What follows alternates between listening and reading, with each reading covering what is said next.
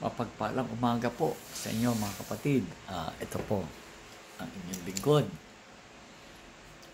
Si Father Jaime Vicente. Okay, mga kapatid ko, ah, gusto ko pong ah, okay, gusto pong malaman po lahat na ang pagpapatuloy po natin ng ah, gawain po na ang title po natin ay Sacramental Tools. Ito po yung part 2. Pero bago po lahat, taas po muna natin sa amang gawain to. Sa ng Diyos Ama, Diyos Anak, Espiritong Banal. Ama ko, Diyos na makapangyarihan sa lahat. Nawa, Ama, pagpatuloy po ang mga kabanalan na gawain na amin po natututunan sa tulong po na inyong napakalakas na kapangyarihan po, Ama. Sa ngalan po ni Kristo, Panginoon, pagharian niyo po kami, Ama, ng inyong pong ah, kabanal-banalang kaalaman po na amin po matutunan. Sa ngalan ng Diyos Ama, Diyos Anak, Diyos Espiritong Banal. Amen. Okay, ah, mga kapatid ko, no? Ah, sa araw na ito, patuloy ko na po. Naipaliwanag ko na po noong nakaraan yung mga ibang gamit natin sa sacramental tools. Kaya ito yung mga kapatid, ito po, ah, isa na naman pong gamit natin, pero katandaan nyo po, lahat po ng ating gamit ah, na consecra na consecration po ito na nakonsagrahan po ng ah, ng lahat ng narito lahat po ng narito lahat po ng mga gamit na pinagawa sa akin ng Ama konsagrado po ito ng pitong kapangyarihan. Ito po, ha? Itong pitong kapangyarihan. At saka,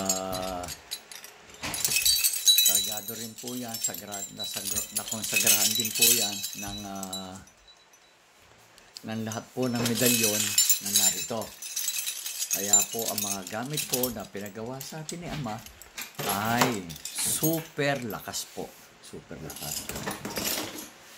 Lagi lang po natin pakakatandaan mga kapatid, marami pong ah, kumopya sa ating mga gawain, pero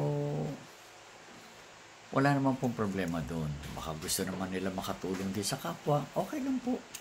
Ang mahalaga po, yung inaano ko naman po sa inyo lahat, na lahat po na nakakuha sa akin ng mga gamit, igagaranti ko sa inyo.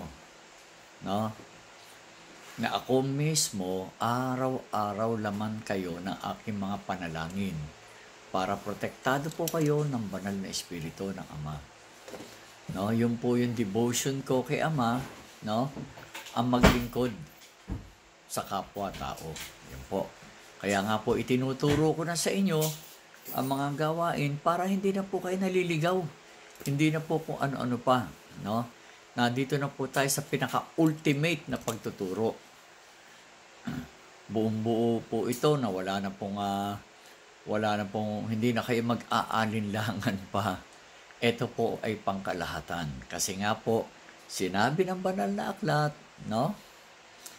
Magkakaroon tayo ng mga bagong pamamaraan nagpag ng pagsamba sa Espiritu ng Diyos Amang makapangyarihan sa lahat bagong pamamaraan na po.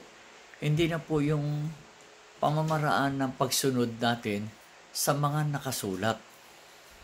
No? Ng mga batas. Kasi totoo, totoo lang po, mga kapatid, marami pong nakasulat sa batas na hindi naman po batas ng Diyos. Yun po ang gusto kong iparating sa inyo lahat ha. Hindi po lahat ng batas, batas ng Diyos.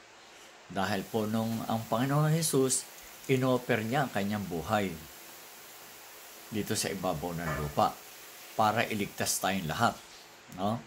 Palayain tayo dahil nakagapos tayo sa batas ng tao. No? Palayain tayo. Ngayon po, kaya nga po ang batas ay naisulat na sa ating pusong laman at sa kaisipan. Diyan po ipinasulat ng Ama at idinikta sa atin ng Panginoon Jesus na sumunod no sumunod sa kanyang amang makapangyarihan sa lahat. No? Obey, ba? God rules, uh, spiritual rules po ito ha. Kasi nga po, kaya nga po ang ama ay bumaba. Nakita niyo sa likuran ko, bumaba. Ha? Kasi po, nung nagkatawan tao ang Panginoon Jesus at namatay siya sa krus ng Kalbaryo, bumaba ang ama at sumaanak. Yung po yung sinasabi ng ama na pag sinira nyo ang aking templo, sa loob ng tatlong araw, bubuuin ko. Yan po, bumaba po ang Ama. Ang banal na Espiritu ng Diyos Ama ay sumaanak. Kaya po, muling, ha, muling nabuhay ang katawan lupa sa pamamagitan ng banal na Espiritu ng Diyos. Kaya po, eh na, yung lumabas ng Panginoon Jesus, no, sinira niya na po lahat ang batas ni Moises. Moises po ah, hindi po batas ng Diyos. Ang batas ng Diyos po hindi po sinira ng Panginoon Jesus. Nananatili rin po yung kahit sa lumang tipan, kahit sa lumang tipan po, ang batas ng Diyos Ama, hindi po nababago yun. Ang binago lang po ng ating Panginoon Jesus, yung batas ni Moises. Kasi hindi naman po inutos ng Ama na kapag nagkasala ang isang tao o nangalo niya, no? Ang babae o lalaki, no? Pag nangalo niya, papatayin sa pamamagitan ng pagbato. Batas po ni Moises yun. No? Pati yung pagkain, bawal agad daw. Ang dami pong bawal. Kaya naguguluhan po, nagkagulo-gulo na. Pati sa pananamit, pati sa buhok, puro ipinagbawal. Kaya po, uh, hindi natin maunawaan kung ano ang totoo. Kaya bumaba ang liwanag, no? bumaba ang totoong liwanag. No? The true light. Bakit? Bakit may totoong liwanag? Yung pala, ang kadiliman ay nagahari sa ibabaw ng lupa. Kaya ang katotohanan po, sumunod tayo na inuutos at itinuturo ng ating Panginoon Jesus na sumunod tayo sa kalooban ng kanyang Ama. Magbalik loob po tayong lahat. Ah, ito po. Ngayon, pagdating po sa gamutan, alam niyo na po ah, na ituro ko na yun yung part 1. No? Kung step by step. Ngayon po, isa po sa pinagawa sa akin ng Ama, marami po kasi mga naghahanap buhay, no? mga naghahanap. Marami pong pamamaraan eh. Kaya sa mga pamamaraan na mga isa-share ko sa inyo, pwede, uh, hindi naman po kasi lahat para sa isang power. Tandaan nyo yan ha. Hindi, lamang, hindi naman po lahat ng inutos ay para sa iyo. Meron po kasi mga utos na para sa iyo eh. Katulad po mga tao, hindi po isa lang ang utos sa tao ang pinaka-general lang sinasabing isang utos, yung magmahal tayo, magtapa, maging tapat sa kapwa, gumawa na mabuti, tumulong. Yan, yan po yung uh, standard na tinasabing yung utos. Pero marami pong utos eh na para sa taong pinag-uukulan. Halimbawa po, Kita nyo, may tao na nag engineer Di ba? Kahit sabi na magulang, ayoko engineer, gusto ko, ano ka, gusto ko doktor. Eh, engineer po ang inuutos ng ama dun sa nilikha niya eh. Kaya kahit anong mangyari, mas magiging uh, magiging maayos ang buhay niya sa pagiging engineer. Oh, inutusan kayo maging carpenter eh kahit sabihin mo, engineer o ano man eh, eh karpintero ka eh. Fisherman. Ayan po. Yan. Kailangan natin, ah, pati po sa gamit. Hmm. Kung negosyante kayo, nalulugi kayo, ano ba yan? Lagi ano, no? Kasi po, merong spiritual. Ah, kaya mapalad po, no? Yung may mga gamit na pang-spiritual. Katulad po nito, ito po ay isang uri ng tinatawag na money maker. Kung negosyante kayo, nagtatrabaho po kayo, no? O, kuha po tayo na ano ha? Kung nagtatrabaho po kayo na gusto nyo maswerte kayo sa pagtatrabaho, ito po yung tinatawag na money maker, ha? Sandali po.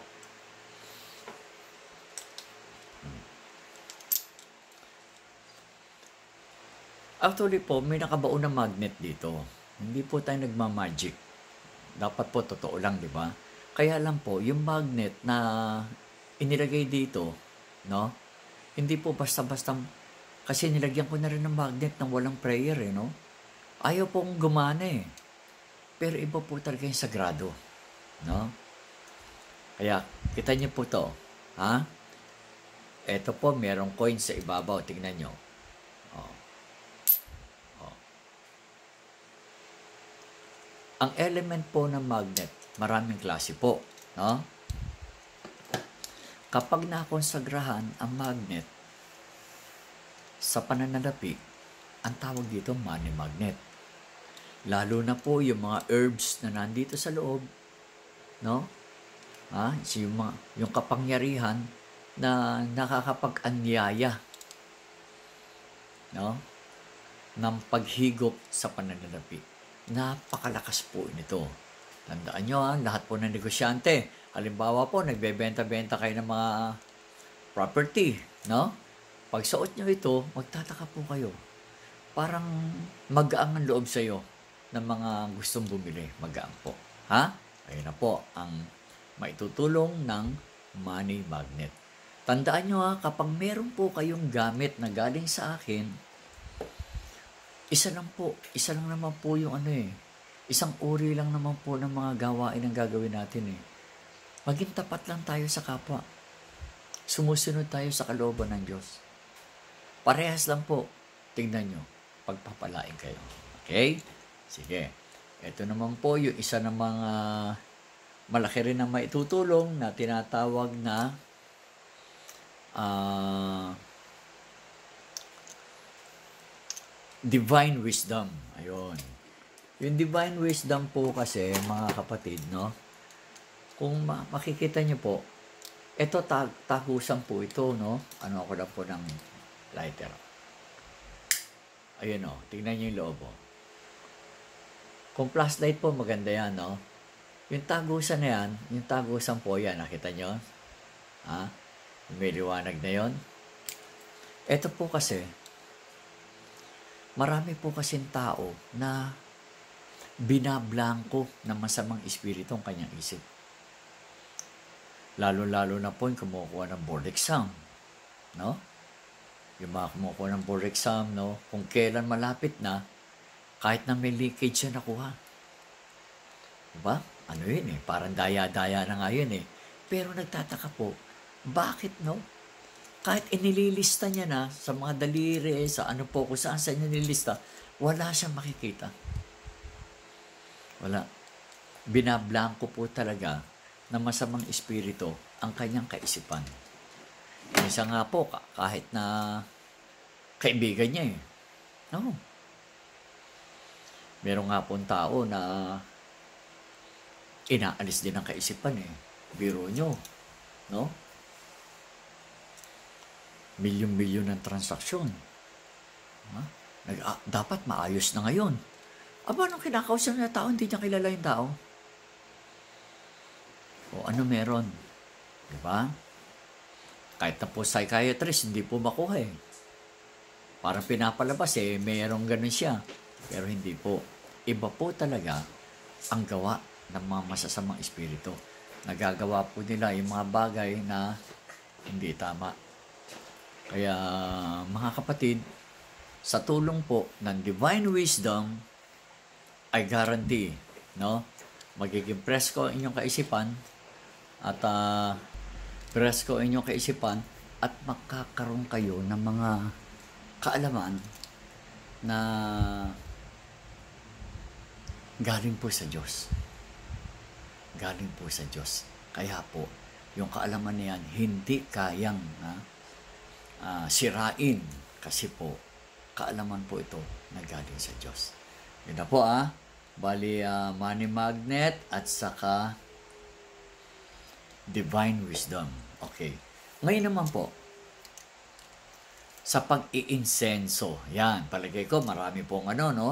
Marami po kasing mga bahay-bahay, mga kapatid ko, no? Na bakit nagkakamalas-malas? Bakit po Minsan nag-iiyakan ng mga bata, hindi man bata, kahit sino man sa inyo. May nakikita sila, no? Bakit lagi nag-aaway? Yan po. Ang inyong tahanan, napakarami po. Napakarami po ng uri ng mga pangyayari kaya po nagkakaroon ng ganon. Halimbawa po, may nainggit, iiwanan kayo ng ano ng mga masasamang salita para yung masasamang salita na yung pasukin po yan ng mga demonyo. Iba-ibang uri po. Meron naman pong bahay na dati nang merong parang uh, enchanted yung lugar na yun. Halimbawa po, maraming uh, palasyo po yan ng mga engkanto, yung lugar na yan. No? Hindi nyo alam, tinayuan nyo ng bahay pag tinayo, tinayuan niyo po ng bahay, ay, malaking gulo po. Dahil may mga nasira kayong lugar. O, isa na po yun. Kaya sa pag-iinsenso po, ang pag-iinsenso ay isang uri po ito ng kung paano natin mapapalayas, pwede pong matunaw, pwede pong uh, mapagbawalan. Kasi po, kung meron naman po kasi mga masasamang espiritu o hindi naman sila masasama, kaya lang sila nagiging masama dahil po sa ating pag-uugali din. Wala tayong paggalang. Pwede silang ganon. Pwede naman tayong makipag, uh, maka, makapagsalita ng huwag niyo naman po kaming gambalain. Kung bahay niyo itong lugar na to, hindi naman muna natin inaangkin. Igagalang namin yung lugar, No? At uh, kami po ay uh, huwag nyo namang gambalain. Alam niyo sa totoo lang po, kasi may mga lugar eh. Halimbawa, kusina. Nandun sila. Eh pagdating doon eh, nagtataka kayo mga kusina na pagdagsikain eh, bukas na, bukas na puhugasan ng pinggan. Ayaw rin po ng mga mabubuting engkanto yun. Dahil galit sila sa marurumi. Ayaw nila na marumi. Parang lumalabas, binababoy yung ano, kanilang lugar. Kaya nagagalit sila. No? Isa na po yun. Isa lang po yun.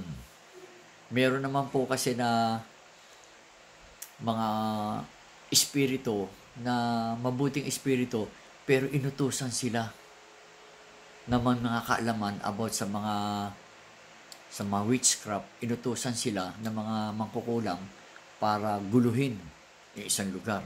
Iba naman po yun, di ba? Kaya po napakarami. Ito po napakahalaga sa lahat.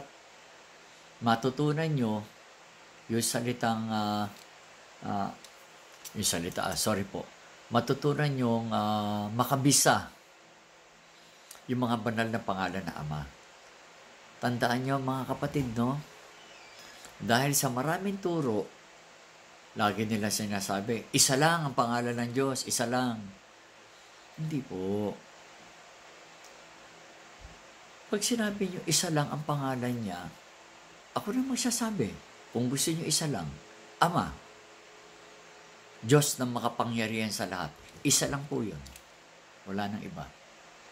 Kaya lang po, gumawa ang Ama eh ha, ng mga salita.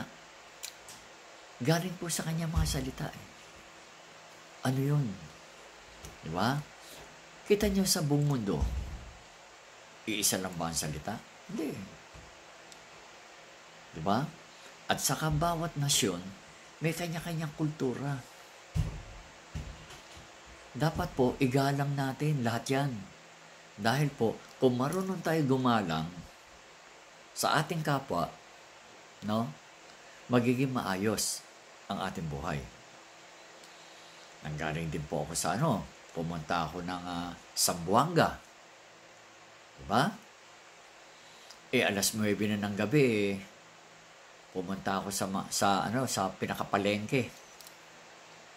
Ang dami mga ano doon, di ba? Sabi nila, huwag kang iikot-ikot sa gabi, baka pugutan ka ng ulo.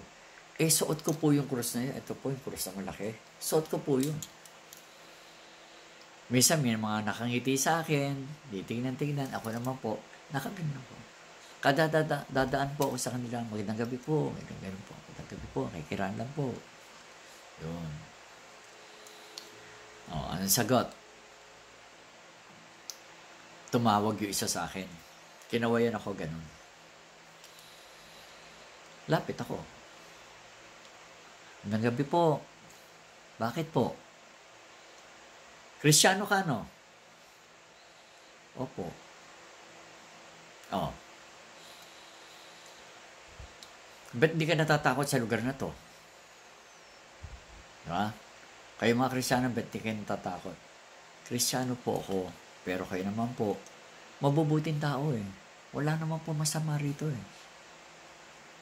Diba? Sabi sa akin, alam mo, sa totoo lang, ikaw lang ang nagsalitang ganyan sa amin. Maraming krisyano, ang tingin sa amin, mga mamatay tao kami. Kako, misyonaryo po ako. Mahal ko po lahat. Mahal ko po kayo, mahal ko po lahat. Ano masagot sa akin? Alam mo, tandaan mo ha, uh, sinabi yung pangalan niya si uh, Abdul uh, ano po ni ano to ni yung attorney ni Miswari si Alam Si Alam po. Attorney uh, Alam. Alam. Oh. Ano sagot niya? Banggitin mo ang pangalan ko ha. Kapag merong mag-ano sa'yo rito, walang gagalaw sa'yo rito. Dahil isa ka mabuting tao. Kita nyo? Pag mabuting tao tayo, may kaaway ba tayo? Wala. Marami kasi sa mga Kristiyano, ang tingin sa Muslim, mga kriminal. Hindi po. Walang kriminal na Muslim. Yung kriminal, yung taong masama. Bakit? Wala bang kriminal na, na mga katoliko? Wala bang kriminal na Adventist? Wala bang kriminal na Iglesia ni Kristo? Lahat ng tao may mabuti, may masama. Kaya kung matuto tayong magmahal sa kapwa, wala po tayong kaaway. Kapatid, ha? Ngayon, kaya po sa pag-insenso, nabigkas niyo po ang banal na pangalan ng Ama. Ito po, kung maaari lang po, no? Dito, sa Sator Coronados. Pag nagpa, bago ko kayo mag-insenso, manalangin muna kayo ng one I believe, one hour far, para sa mga ano po ah, katoliko. No? Katoliko. Kasi, yung iba pong nas, nasa ibang religious group, hindi po nagdadasal ng ano eh. Sumasampala. Wala po silang ganun. Para lang po sa atin. Para respetuhin lang po natin yung sa ano natin. Huwag po nating isipin yung sinasabi ng iba. Ang isipin mo, yung gagawin mo para sa Diyos. Okay? Pag nabikas nyo po, yung 1, 2, 3, 4, 5, no? Ito po yung kabuuan ng Sator Arepo Tenet Opera Rotas. Yun po yung initial po. Initial po yun ang 25 initials name of God the Father Almighty. Kaya mga kapatid, yung mga banal na pangalan, yung salutator, uh, ito po, yan po yung sa toro. Salutator Adam Tragula or Sumrabet, di ba? Ito po yung Arepo. A-R-E-P-O, di ba? Aligatum Ramael Sakso. Yun po, yung 25 pangalan ng Ama, habang nagpapausok po kayo, binibigkas nyo yung 20 pangalan ng Ama. 25 pangalan ng Ama. Naka, naka 25 pangalan na kayo, balik ulit. Ikot po ulit haba hanggang sa makatapos po kayo ng uh, ng inyong pag-iinsenso. Sunod po, pagtapos na, ilagay niyo po yan sa main door ng bahay. Yung, yung inyong ah, lata na mayroong umuusok, lagay niyo po doon. Humiling kayo, Ama, nanawa po, pumasok na po sa tahanan namin, Ama. Hinihingi, humihiling po ko, Ama, at nagmamakawa na naway pasukin na po kami ng swerte. Tingnan niyo po. No? Araw-araw niyang gawin. Sa pag-insenso po, yung iba kasi, dati po kasi every first Friday. Pwede naman po. Yung iba naman po, every Friday. Pero kung hindi naman magandang talagang takbo, every day. The best po yun. Diba? Kasi po yung paglilingkod ng araw-araw, eh, mas maganda po yun kesa every every month. Di po. Kaya nga, yung every month po kasi, minsan, kaya every month, meron po nagse-service sa kanila. Service. Kaya every Friday, may nagse-service. Eh kung kayo na, palagay ko naman pwede everyday. Kasi yung mga nagsa-service, may mga schedule yan eh. Kung saan-saan eh. Eh kung kayo na natuto, everyday, tignan niyo po. Kasi lahat po tayo mayroong karapatan. Dahil ang Ama ay nasa atin. Ha? Kung, kung tawagin po, para medyo maganda-ganda papakinggan, ang Diyos Espiritong Banal ay nasa atin po. Kasi po, ang Diyos Espiritong Banal ay nasa lahat ng kanyang nilikha. Kaya pagpalain po kayo. Uh, sa pag-share ko ito po, ito po yung part 2. Uh, sana man po, uh, abangan nyo yung ano, yung uh, part 3. Ay dahil guarantee, kapag i-ano nyo na po, i-download nyo na po ito para meron kayong kopya. Kasi po, kung manonood kayo sa YouTube, no? Hihintayin nyo na naman yung ano, yung eh, paano kung wala kayong wifi, wala kayong internet, hindi ko tuloy naka-download, nandun na sa ano nyo, nasa page na yon Di ba? Maganda po yun. Okay? Maraming maraming po salamat sa inyong pagtsatsaga. Tandaan nyo, no? Ang nananatili sa Ama ay pinagpapala na Ama. Di ba rin kayo magtsaga? It is more than gold. It is a treasure. No? Na-treasure nyo ang kaalaman na galing sa kapangyarihan ng Diyos Ama. Sinabi ng Diyos Ama, ituro ko na sa inyo lahat ang kaalaman na ipinagkatiwala niya sa akin. Magandang magandang umaga po. Pagpalain po kayo lahat. Mahal na mahal ko po kayo lahat. Sa susunod po muli, sa part 3,